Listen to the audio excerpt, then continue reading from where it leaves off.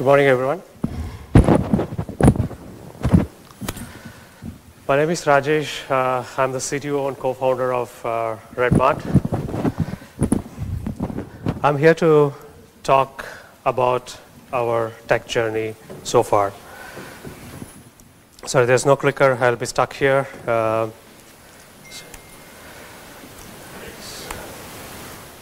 so just to give you a quick numbers, you know, from, from the tech perspective, we basically have 20 teams. Uh, it's, you know, if you're, if you're familiar with uh, uh, two pizza teams from Amazon, it's pretty much like that. You know, it's a very small autonomous team, uh, self-contained, uh, and about 80 engineers. So if you, you, can do the math there, it's about three to four engineers per team. It's a pretty small team. And uh, we support about five stacks, many different languages, obviously that's what it means, hundreds of services, and four different environments, and an obligatory metric of 20 to 30 rollouts per day. Because anywhere we talk about CI, CD, the first question that gets asked is, how many times do you roll out every day? I mean, that's, that's not the best metric to look for. I mean, there are many different, different things that you should be considering even before actually talking about number of rollouts and other things. So how did we get here? It's a classic uh, monolith to microservices story. We started out with uh, open source tool called Magento. Uh, that was back in October 2011. And uh, by 2012, we realized that it will not take us where we wanted to go. So then we started basically writing uh, API, which was pretty much the monolith which I'm talking about. So of course, Magento was a monolith. If you know, it's a PHP-based e-commerce platform. And we basically wrote a API that's in 2012 and started migrating. And we basically came to, you know, hundreds of microservices, which we, which we are going to talk about. So this, it is hard for me to actually take everything that we did over the past five years and cram it into a 25 minutes talk because each one of the topics which we have in, uh, we have spoken in multiple meetup groups for hours. So I'll try to do my best. so this is basically highlights, I would say. Just to give you a bit of context, um, these are the very high level domains. It's not complete, obviously, uh, of what any e-commerce would have typically. You know, customers would see catalog, search, shopping cart, and you know, back behind the scenes you have order management, fulfillment, transport, last mile, and customer service. Of course, there's many things that happens in between. So all these are domains, but within which you have tons of things that's happening. You know, that means multiple microservices interacting with each other. You know, this is a simplified graph, obviously. So one of the things which we uh, follow quite, quite heavily is embracing simplicity. I don't know if you heard of this person, John Gall. It's, this is from an essay in 1975. A complex system that works is invariably found to have evolved from simple system that worked.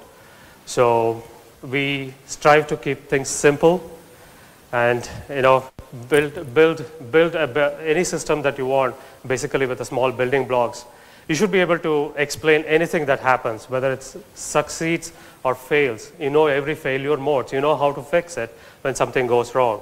Don't just go and take something just because somebody has used it without knowing how exactly to use it. So this has worked out quite well for us so far. Uh, i'll give you some of the examples. Uh, obviously, this is nothing new. Everybody would have done the same thing. If you started somewhere in the uh, 2010, 2010, 2012, that's basically what you, you would have done. Uh, we started with API first, you know, with an iOS app and building a, a, website on top of that. One of the things which really worked out quite well for us is the one which is at the bottom. Um, scaling to microservices, you know, writing everything, duplicating a lot of effort, was actually taken care, I mean, reduced quite a bit by the template and the library which we wrote ourselves, which I'll be talking about uh, pretty soon. Configuration, again a simple thing, you know, everything in config files. Uh, and uh, later on what we did was to basically add, you know, inject, inject things into um, uh, environments. And uh, we, we came across this tool from this awesome company called uh, HashiCorp. This is Consul. You know, we did experiments on KV, and uh, we are currently using something called Vault, uh, which is to basically secure, secure all your credentials, keys, whatever it is. Uh, very high level things. I'm, I'm not going to deep, uh, anything deeper here. We talked about four different uh, environments. So this is basically what it is. Uh, it's a dev laptop. Whatever I do, I have to test it, whether it's a unit test, integration, whatever I could. That's basically what is a dev uh, laptop. And we have something called feature environment, which is, which is probably one of the good things or the best things we did as part of our development setup or the CI/CD pipeline, I would say. Uh, I'll talk about that in depth later on. And we have alpha, which uh, we somehow called it alpha. It's basically a pre-production environment and production is obviously the live apps. As you can see, the cost of failing or you know, uh, doing any of these tests is basically increases exponentially as you go down. This is our development environment. Um, so we have two offices in two diff different geographies, and we have direct connection to our cloud provider. What it basically means is that if I'm, if, if I'm connected to our VPN, which is the bottom part, whether it's home, coffee shop, or this conference, or wherever it is, it's, it's basically, I can access all of those databases, caches, everything that's there, and I can do most of my tests fairly easily. Uh, that's, that's, that's the ease of development environment that we have set up for our uh, engineers. If you're in office, you don't have to do anything. You basically have access to all the servers, servers that's that's in the cloud. Okay? Why we did that and how it helps. So that's this this slide tries to help explain that part. So typically what happens is uh, with microservices, obviously you have a sample graph like this. I'm building, uh, I'm working on a service which is like service under test, which is on my laptop. And that service depends on service A, which in turn depends on M, sorry, that's N and multiple other things. And I also need infrastructure components like queue, database, and cache, for example. So typically what you would do is mock everything, right? So you would mock data, you would mock uh, connections, you would mock you know, pretty much everything uh, that's required to do. Um, the stance which we have taken is basically just to mock the data, don't mock anything else and you know everything else just gets you know comes for you for free. So this way you are actually testing with the service which you are supposed to interact the way you're supposed to, and also you're you're actually using the same drivers to connect to the database or the queue, cache, and all those things.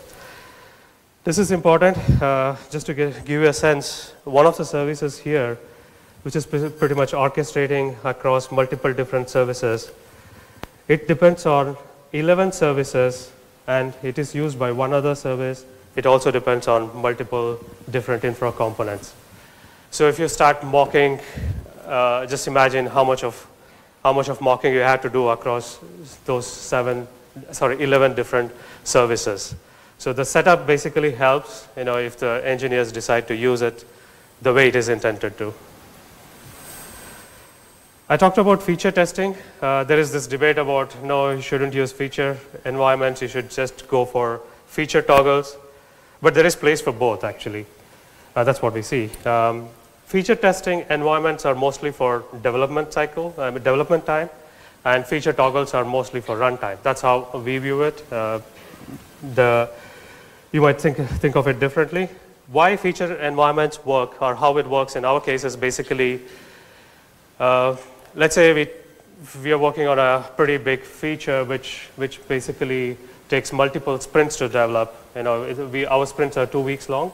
So if, if a feature takes much, much more than two or three sprints, obviously you cannot be testing it on your alpha or the pre-production environment because you're blocking everybody else. We have 20 teams, remember?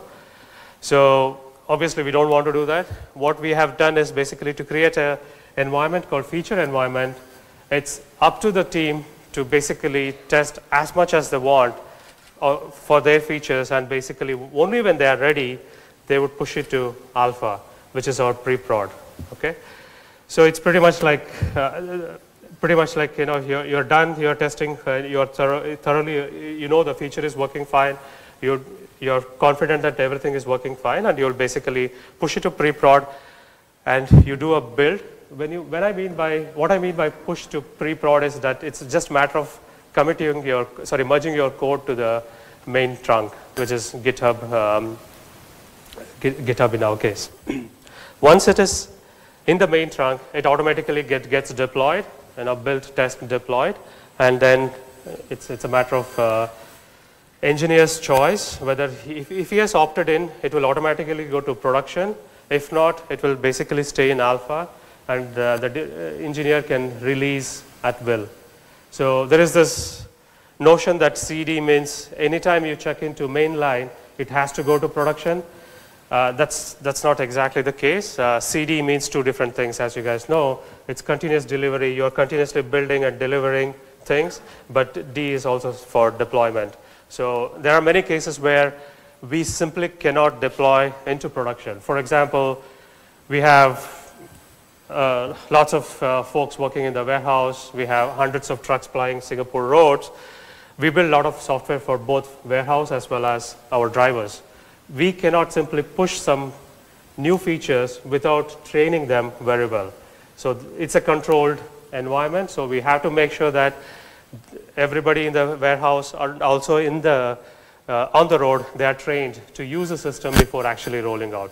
So those things go on a scheduled release, which you might know as a release train. So we have that as well as you know, continuous rollout. I mean, front end, you change the CSS, you have some other bump in the version, so you basically push it many times a week or many times a day, so nobody stops you. Okay. This is a bit more about feature environment. Sorry, I can't go deeper into it. And um, obviously, we started out pretty much manually, and um, we built our basic version of CI/CD, and now it is fully automated. This is basically how it looks. Uh, once the code checks in, it goes to Travis, builds, tests, and once it is done, we push it to the dependency management uh, uh, you know, engine, which is basically Nexus in our case. It could be anything else. Uh, and we push it to SonarQube after the code analysis. And it is versioned using Semver. So I feel it, it works out quite nicely, especially if you want to you know, track hundreds of microservices, you don't know which versions, what, what state it is, and so that's, that's one thing which works out. And the interesting thing is, um, so once you as you can see, there is a S3 bucket here, and there is a direct correlation to the, to the environment which is going into. FE80 is basically feature, alpha, beta, and production. Beta is basically a, a staging environment. If at all we are having some kind of a, a major release, we want to test, we are releasing a credit card you know, changes or whatever it is, we'll basically do into those kind of things. So developer need not worry about any of these things. He just needs to continue pushing his code based on which branch it is going to, whether it's mainline or it's feature branch, it automatically goes to the right location and the testers will be confident that it is where to go and test that feature. Obviously, uh, once you get to multiple services, you need to figure out how to route between services. We started with the very well known thing which is port binding. And we are actually looking at service discovery. We did some of those things already. And I'm sure you must have heard something called sidecars, routing fabrics, routing mesh, and all those things. That's basically what we are heading towards. Uh, it, these things basically remove the um, complexity that is there in building microservices, deploying, delivering, you know, managing them. You know, and uh, there is also this term called zero conf. You know, I, I should be able to just deliver a service, you know, deploy a service. I don't have to worry about configuring that at all. So, I mean, we, we are not there yet. We are experimenting some of those things. Uh, there is a tool called Consul, which we have played around with, and there are The smart proxy, which is there, that's what is called Sidecar. And there's a nice name for that these days. Uh, we have tried uh, this some time back. Uh, Airbnb has something called uh, Synapse. But if you go today, there are at least 10 different proxies doing exactly that. Logs, standard, we just did this. And uh, Tmux saved some of those frustrations. Uh, and we went into ELK, scaled it horizontally. One of the things which we always did was uh, to make sure that just don't copy you know, what is already there, you know, just go scale vertically or whatever it is. In ELK's case, we did pretty, pretty well, just horizontally scaling it, which is very well blogged. You can have a look at it. Telemetry, obviously, we have StatsD, Graphite, Grafana. And uh, one of the things which I would like to highlight is that authentication and authorization. You've seen a lot of reports about what is happening out there. So you should never take security as a feature that you can embed as an afterthought. So you should basically come right from the beginning. Uh, we basically use OAuth uh, from our provider and uh, you know, basically right from the day one, we made sure that all our applications are secure, both from the authentication and authorization perspective. And in fact, the tool right on top there, we are planning to open source that as well. Uh, this is a template library, which I, template and library, which I talked about. It is homegrown. Uh, it basically takes only 10 minutes for me to have a fully functional uh, base microservices uh, you know, up and running. Uh, it comes with everything that is stated there and many more, obviously. Uh, ChatOps, uh, I'm sure you must have heard of this. Uh, we use that every day, and there is a lot of lot of things that uh, you know that basically comes out of ChatOps, whether it's creating an instance, putting somebody on an LDAP uh, server. Pretty much everything is actually happening on ChatOps. This is one thing I'd like to just quickly glean over. Never lose sight of your infra cost. Uh, I mean, these days it's all about hundreds of millions of dollars, and you know nobody talks about this. If you see from the day one, we made sure that you know our infra cost is actually growing pretty linearly alongside the orders, you know, that the revenue basically.